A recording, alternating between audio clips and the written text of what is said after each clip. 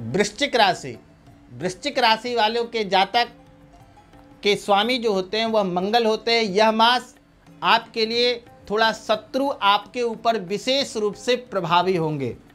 शत्रुओं से थोड़ा सतर्क रहें इस समय।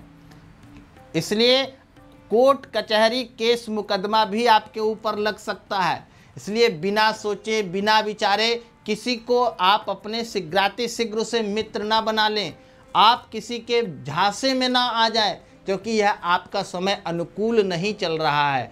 अगर हो सके तो मंगलवार के दिन हनुमान चालीसा का पाठ करें और आपका भाग्य अंक जो है, वह सैतालीस प्रतिशत है और आपका शुभ रंग जो है, वह लाल है।